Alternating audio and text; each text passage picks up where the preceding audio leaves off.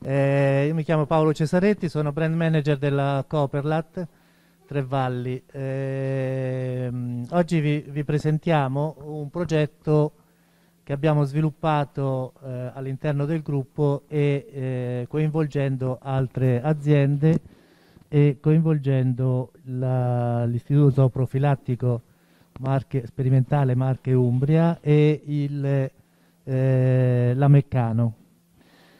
Il, il, tutto nasce dalla, eh, da una misura del PSR Marche del 2014-2020.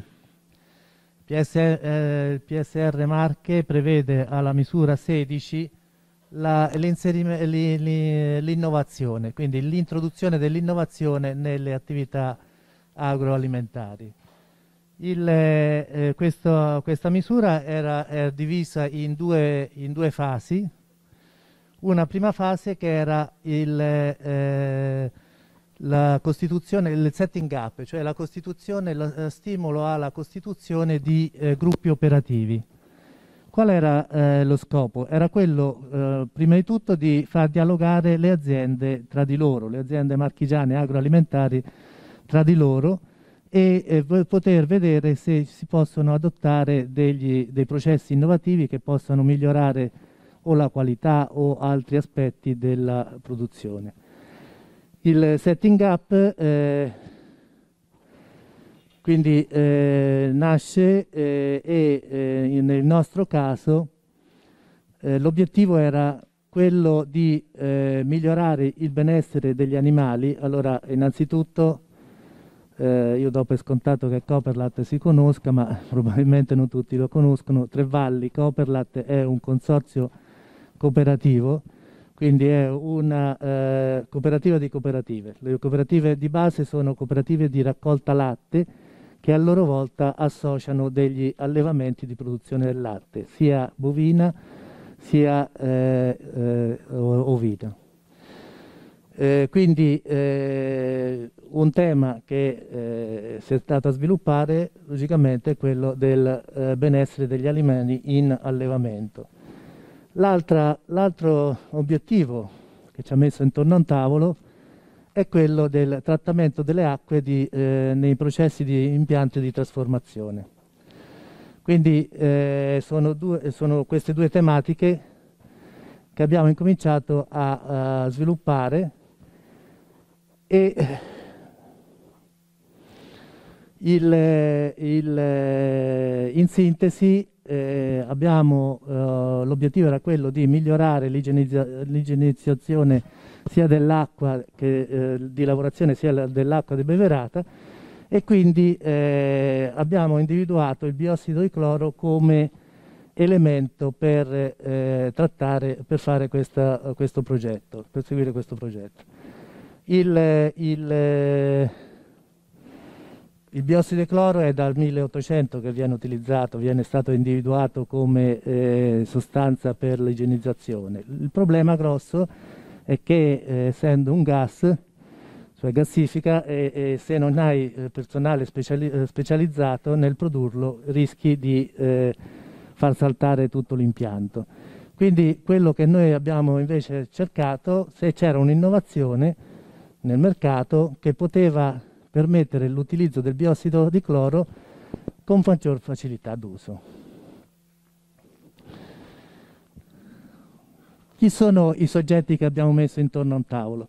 I soggetti che abbiamo messo intorno al tavolo, oltre a Fattorie Marchigiane, che è un consorzio eh, collegato con eh, Coperla Tre Valli, e che gestisce la parte casearia della Cooperlat. Cooperlat è un, eh, come dicevo, è un consorzio di cooperative, fa circa 220 milioni di fatturato l'anno, lo fa nel settore del latte fresco, del latte UHT, dei prodotti speciali a base di latte, lo fa anche per circa 40-50 milioni, lo fa nel settore caseario. Lo fa nel settore caseario con due stabilimenti, uno che si trova ad Amandola specializzato nella produzione delle mozzarelle ed uno che si trova a Colle al Metauro specializzato nella eh, produzione dei formaggi.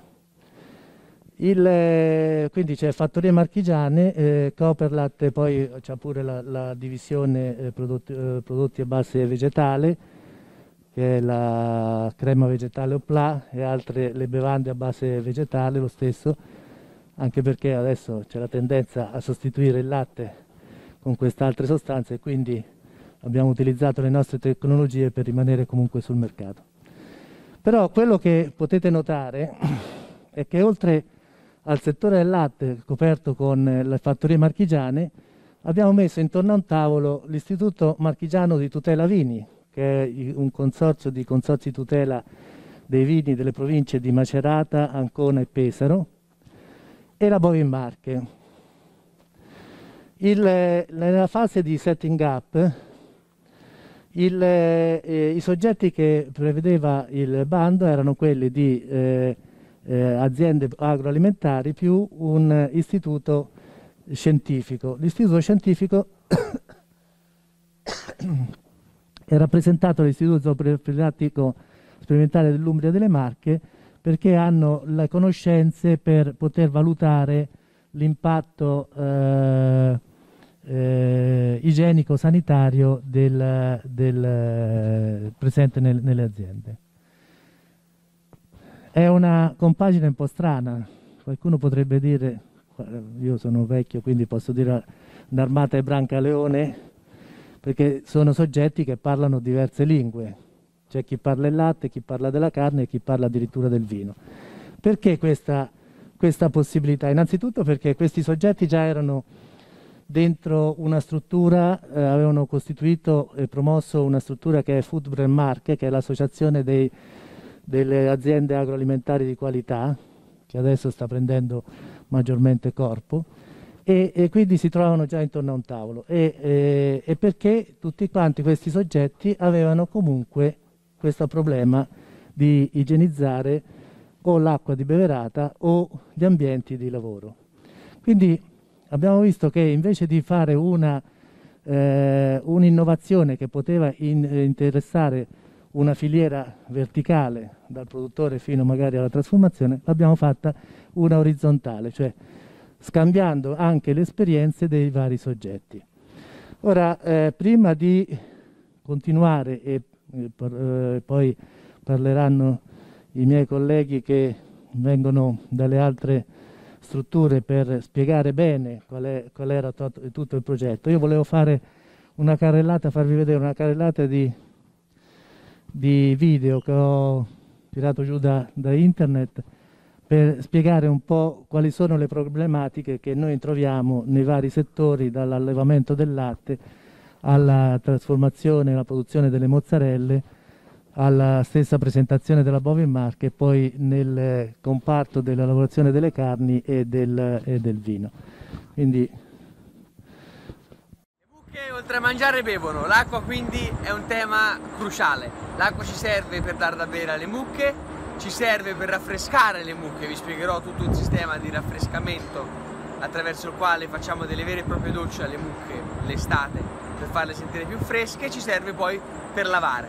Da dove arriva, quanta ne consumiamo e dove va a finire.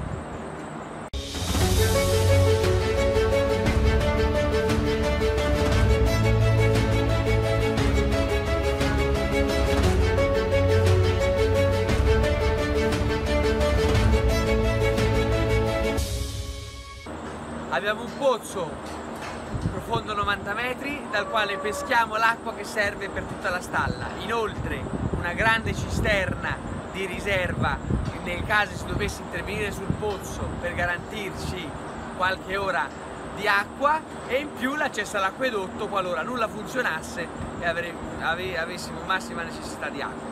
In questa stalla abbiamo installato da circa 2 o 3 anni abbeveratoi in acciaio come questo, prima li avevamo in cemento, innumerevoli sono i vantaggi di questo tipo di abbeveratoio. Il primo, la rapidità con cui si possono pulire, perché difficilmente su una superficie del genere crescono alghe, quindi semplicemente con una spazzolina si dà una grattata al mangiare che loro hanno sul naso e che immergendolo nell'acqua gli si stacca e si deposita sul fondo, si ribalta l'abbeveratoio e è bello che è sistemato. Noi li puliamo circa due volte al giorno. verso le 11 e poi la sera prima di andare via. Il secondo vantaggio è che hanno acqua sufficiente affinché la mucca possa bere tutta l'acqua che vuole, ma ce n'è poca rispetto alle vasche profonde in cemento, quindi l'acqua cambia e ricircola. Le, le, vasche che avevamo prima invece, che erano più o meno della stessa larghezza ma arrivavano fino in fondo, l'acqua ristagnava e anche quello creava umidità, sporco e ambiente per le alghe. Ancora un ultimo vantaggio di questi abbeveratori rispetto a quelli che avevamo prima è che puoi regolare l'altezza da terra a quella che preferisci. Nelle vasche in cemento le mucche entravano completamente con i piedi per avere la sensazione di fresco e quindi impedivano che le altre mucche potessero venire a bere. Le mucche di acqua ne bevono tantissima, l'estate quando iniziano a sentire un po' lo stress da caldo possono arrivare, quelle in produzione da latte, possono arrivare a bere anche 200-250 litri al giorno ogni singola mucca. È necessario e fondamentale quindi che ogni mucca possa accedere all'acqua in ogni momento della giornata, ogni qualvolta ne abbia bisogno. In stalla quindi bisogna assicurare l'abbeveraggio a tutte le mucche. Cosa significa? Più o meno si dice 10 cm di superficie di abbeveraggio a vacca. Avendo noi gruppi di animali di circa 80 mucche a gruppo, abbiamo garantito e abbiamo circa 8 metri di abbeveraggio in ogni gruppo.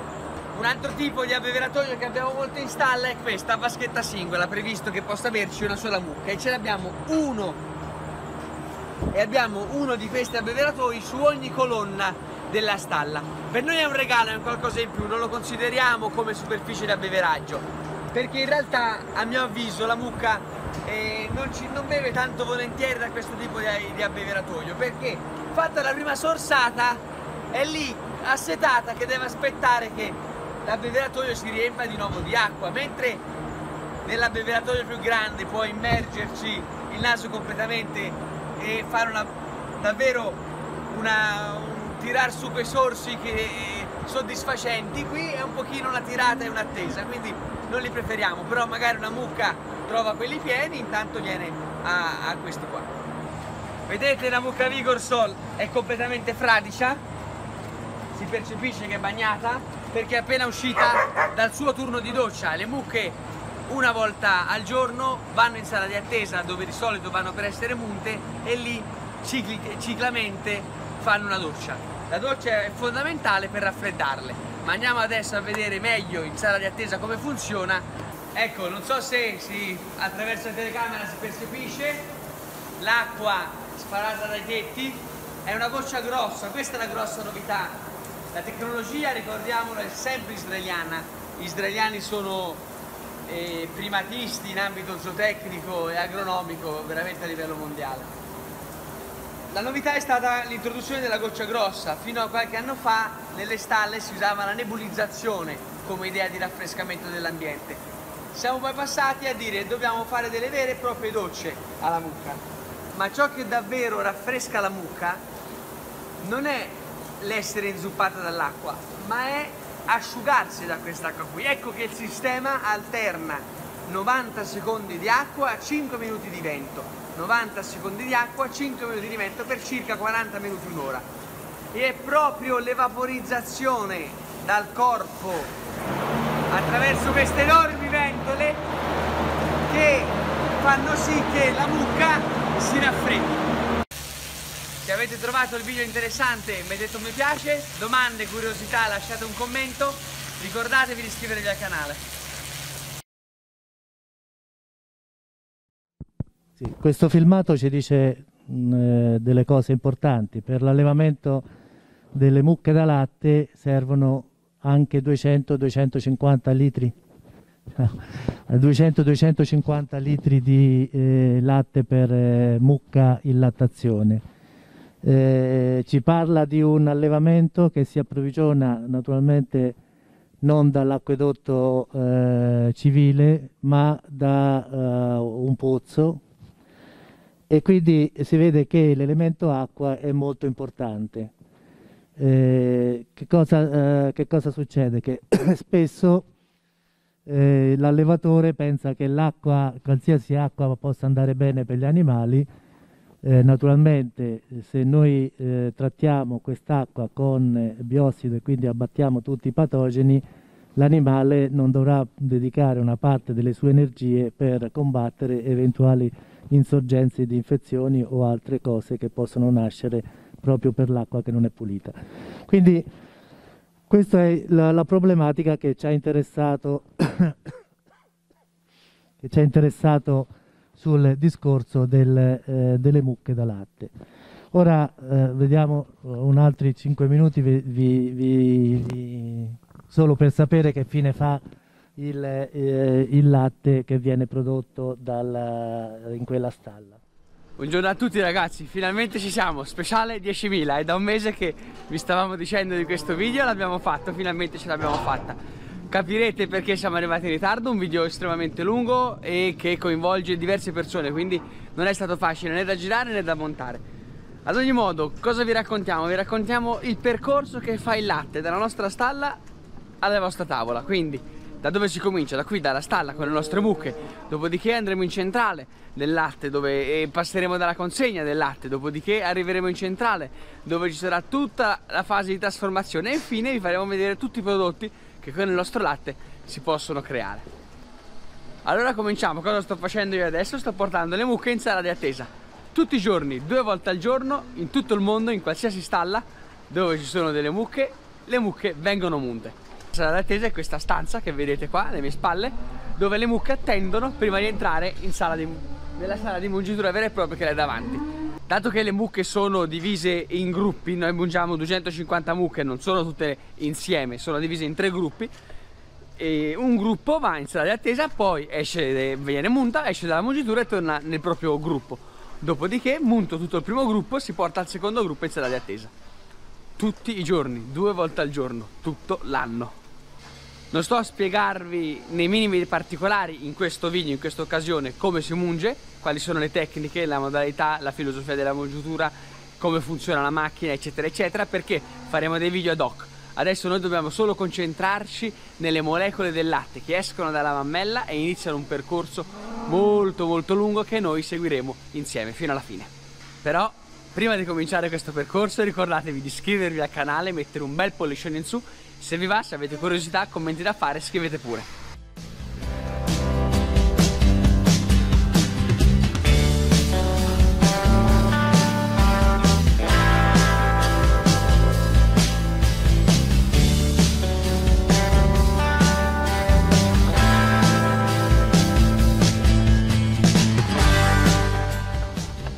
Solo tre parole velocissime, la mungitura può essere divisa in tre grandi momenti la mucca entra e viene preparata alla mungitura. Dopodiché c'è l'atto della mungitura, che nella nostra mungitura è automatico. Terza e ultima fase, post dipping, la, e la disinfezione della mammella, dei capezzoli e poi la mucca esce anteriormente e torna in stalla.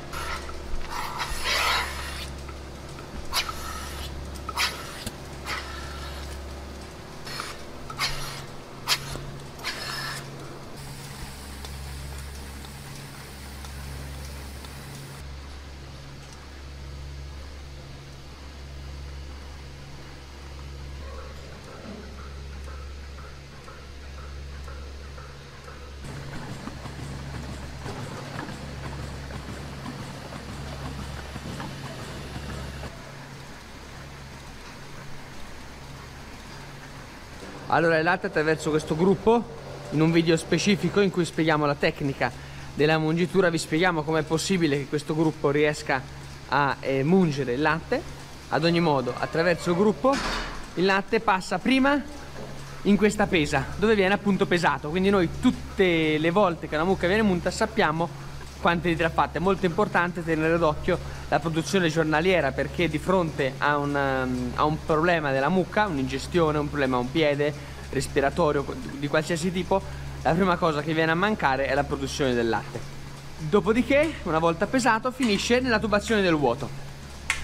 E dalla tubazione del vuoto in questo polmone. A cosa serve il polmone? È chiaro, immaginatevi che la pompa non può ogni due litri che arrivano di latte accendersi, spengersi, accendersi, spengersi, accendersi, spengersi aspetta che ci sia un quantitativo di latte superiore a 80, anche 100 litri, dopodiché parte e pompa il latte. Dove lo pompa? Attraverso una tubazione che sfonda il tetto, andiamo nella sala della cisterna del frigo. Quindi il latte sfonda la parete e attraverso questa tubazione finisce dentro la cisterna.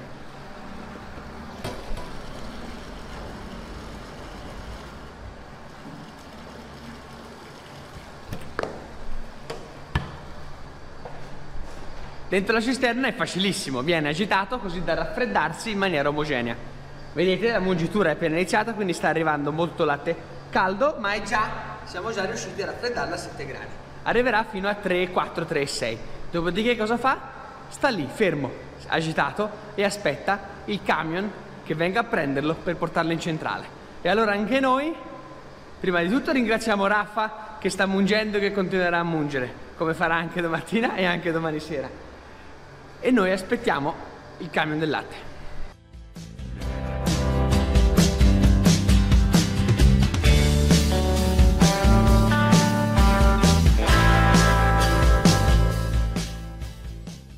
Buongiorno Sergio! Buongiorno, buonasera! buonasera, ci rivediamo sempre qua! Come tutti i giorni dal 1982. Sergio viene a prenderci il latte da, dal 1982 sono 40 anni che viene qui. Tutti i giorni dell'anno, vero? Tutti i giorni. Tutti i giorni dell'anno. Meno che il sabato sera. Meno che il sabato sera. allora adesso Sergio attacca la pompa. Sentite il rumore? Prende il tubo. Ma la pompa cosa, ora sta caricando il vuoto o è già partita? Sta facendo il vuoto. Adesso la pompa è, Sergio ha attaccato la pompa, adesso sta facendo il vuoto. Ovviamente il latte lo carica a depressione, non è che passa attraverso la pompa, no? lo succhia, capito? Lo eh, succhia leva, leva perché qui c'è meno aria che fuori. e non lo sbatte, capito? Leva okay. l'aria da dentro la botte, quando apri e succhia, capito? Nella cisterna c'è, adesso c'è depressione? La cisterna una capienza di 24.000 litri 24.000 litri signore e signori e quanto ci metti? ogni quanti giorni la riesci a farla piena? o in ogni giro ogni è giro piena? Ti, anche se non si piena però ti dipende a volte 150, 200 insomma 20.000 litri, 15.000 divisa in quattro scomparti per Ecco, questa cosa qui è importante, non è che il mio latte va a mischiarsi con no, il latte di quegli altri. No, ogni, ogni azienda chi ha il biologico va in una botte, chi ha l'alta qualità va in una botte, l'agri qualità va in una botte. Le, le, le, le, celle corrispondono con queste righe? No, no. Non c'entrano niente le righe? Niente. E ce ne sono quattro? Sono divise in quattro, capito? Quindi c'è quattro rubinetti. E adesso il nostro latte in quale andrà di no, questo? Il nostro latte va nella prima. Prima cella. Si apre la prima botte, capito? Poi attacco il tubo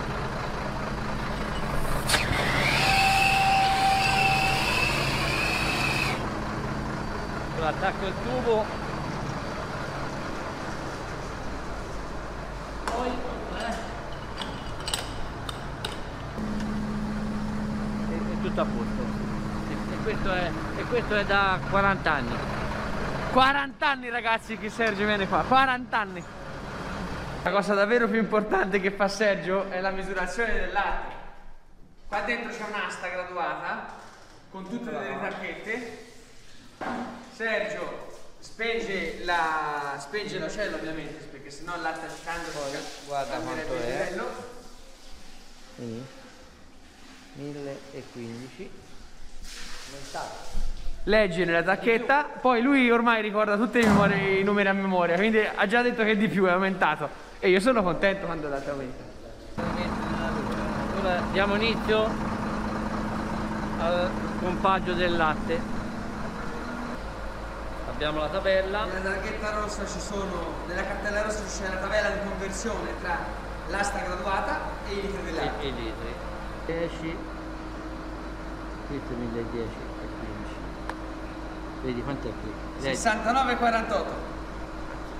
6.000 948 litri, va bene, è aumentato. Ultima cosa che fa Sergio, in questo foglio scrive data, ora, quantità presa e la firma. E la firma. Ci siamo quasi ragazzi, cisterna vuota.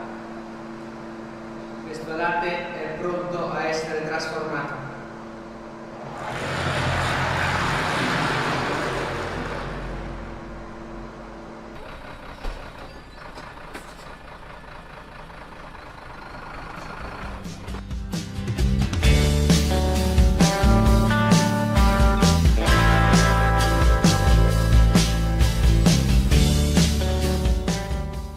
Bene, grazie mille Sergio, che passione ragazzi, da 40 anni, tutti i giorni, stessa ora, viene qua e ci prende il latte. Adesso vedrete che magicamente la scena passerà da notte a giorno, perché? Perché le riprese in centrale è molto meglio farle di giorno, quindi ci andremo domani mattina. Buon proseguimento! Presidente, buongiorno! Grazie mille di accompagnarci in questo percorso che ci racconta la storia del latte. Siamo partiti dalla mia azienda, abbiamo fatto vedere la mungitura, col camion siamo arrivati fino a qua. Adesso ho bisogno di un aiuto per la spiegazione delle macchine. Bene, grazie, grazie veramente di essere venuto qui, qui da noi. Io mi tolgo la maschera perché tanto nel rispetto perfetto di quelle che sono le norme sicurezza Covid avremo modo di rimanere distanziati, ma mi aiuta e mi facilita ad illustrare quelli che sono i percorsi che faremo questa mattina insieme al camion che ci ha appena portato il latte. Il latte è arrivato dalle stalle dei nostri soci.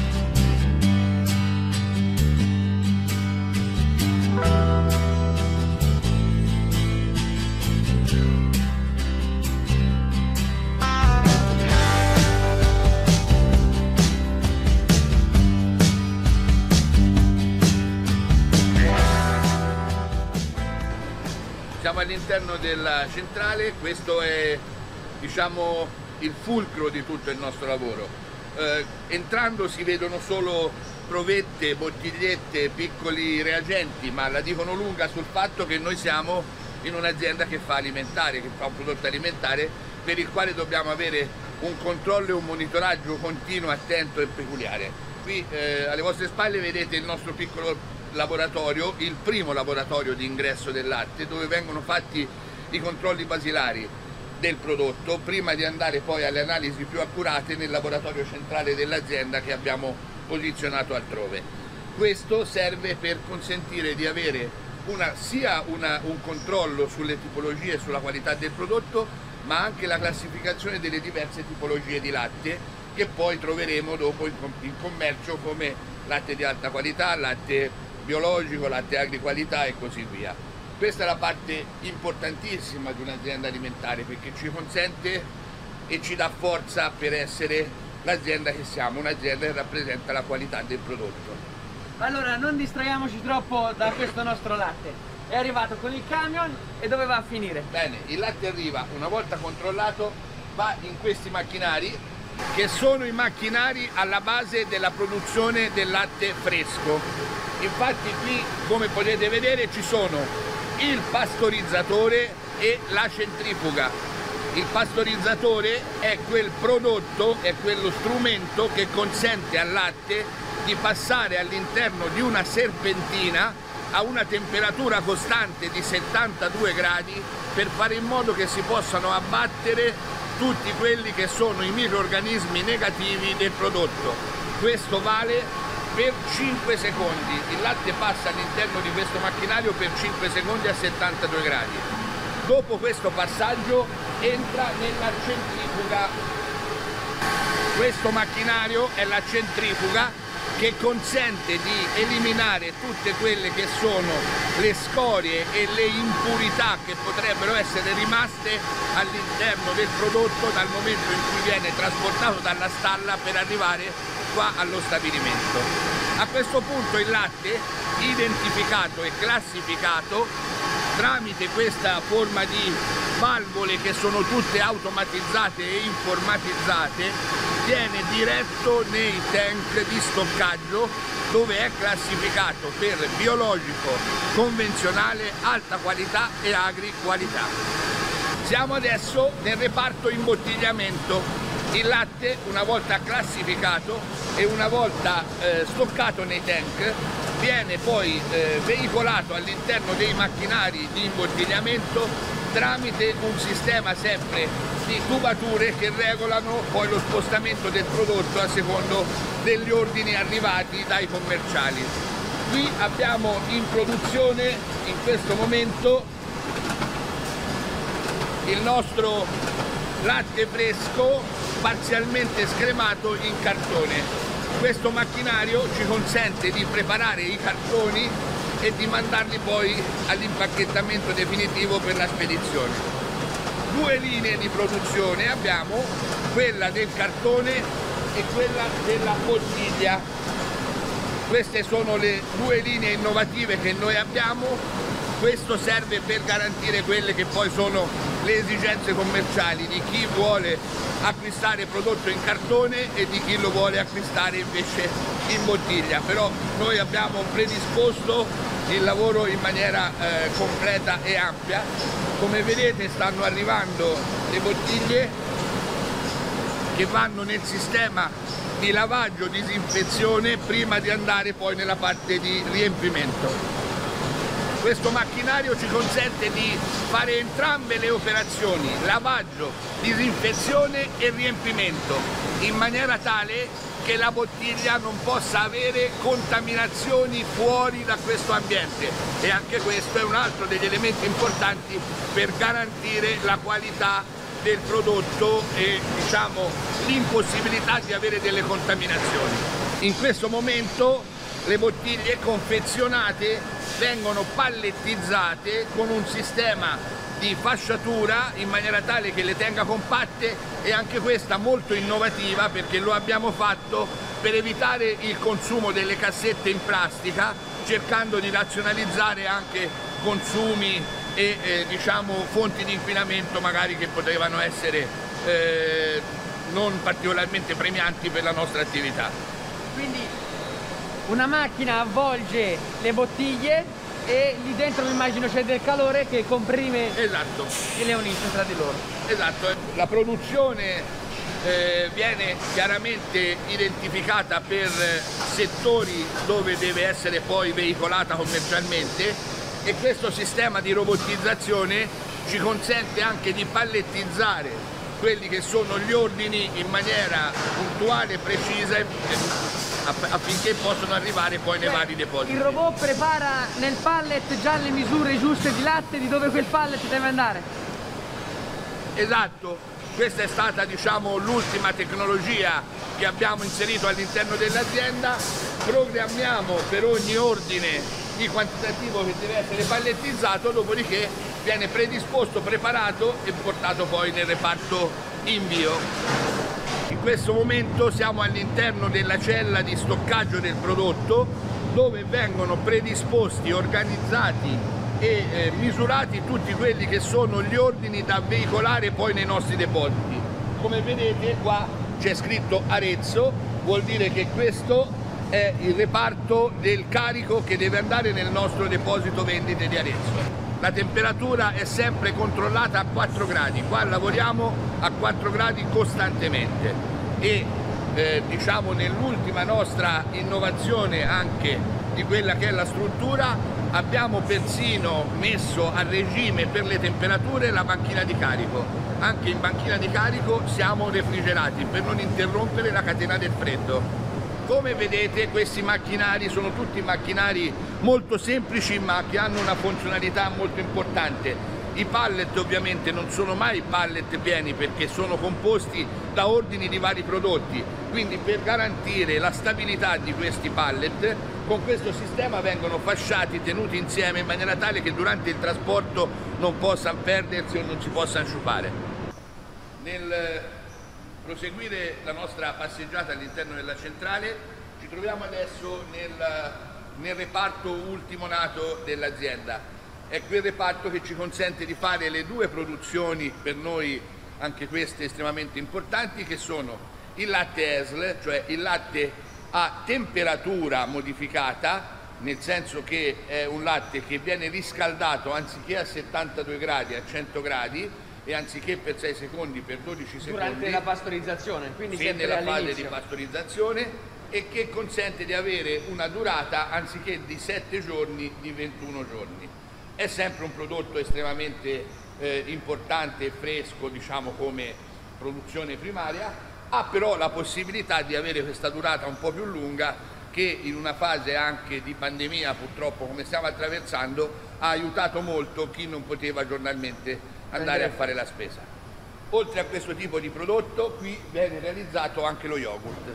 Quindi questi sono i due macchinari innovativi che ci consentono di fare latte Esl e yogurt da bere e al cucchiaio.